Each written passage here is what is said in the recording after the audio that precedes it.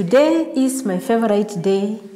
He has made it special for me. Has he made it special for you? I hope he has made it special for you.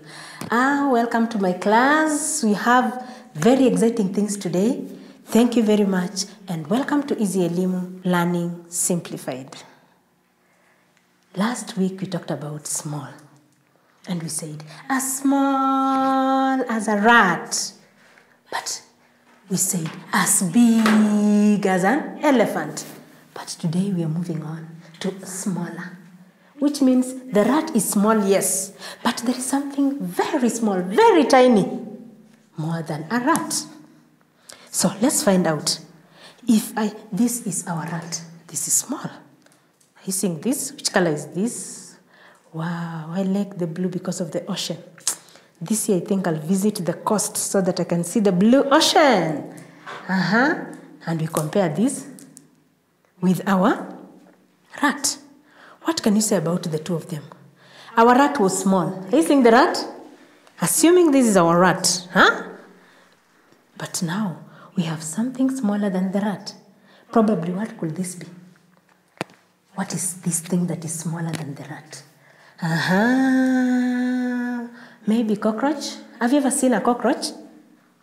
I know you've seen cockroaches, even if it's not in your house, somewhere else you've seen cockroaches.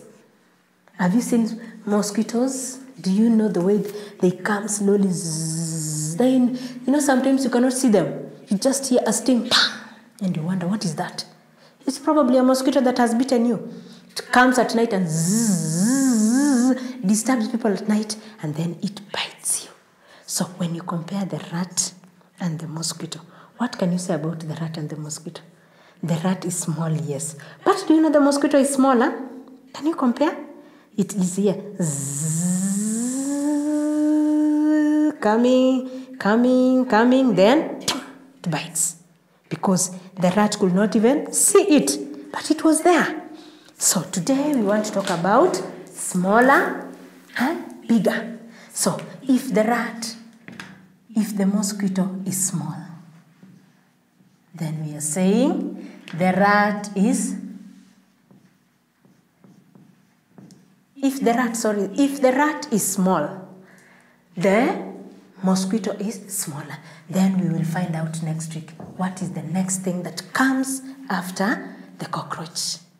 We will find out next week which word comes after smaller. So when do we use the word small small is just this one He's saying the rat is small when do we use the word smaller? We use the word smaller with than. We use the word smaller with than. So probably I will say the rat, the, the cockroach is smaller than the rat.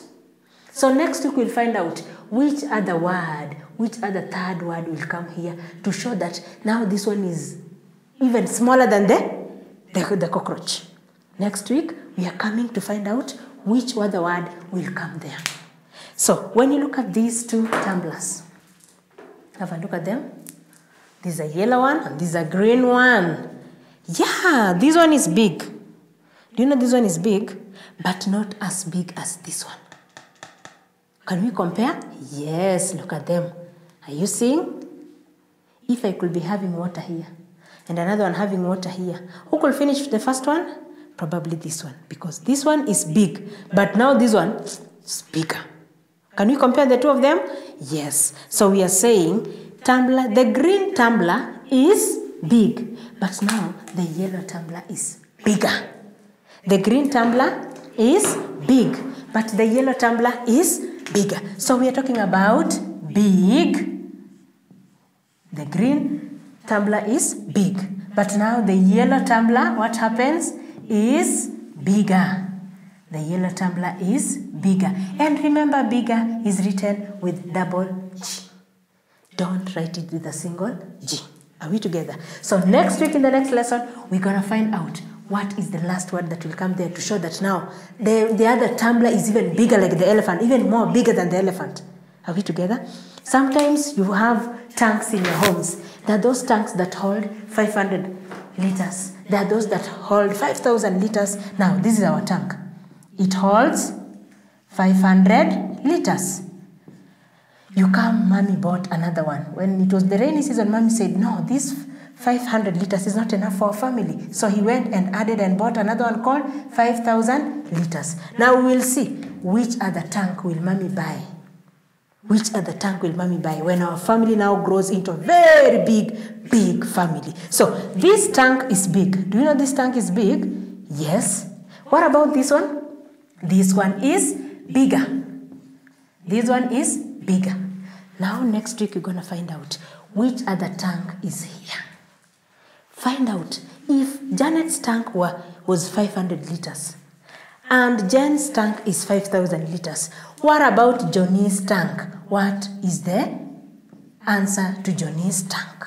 Find out in the next lesson so that when we meet, we're gonna know which other word will fall here. If we have the small, then we have the smaller one. What will happen in the next word?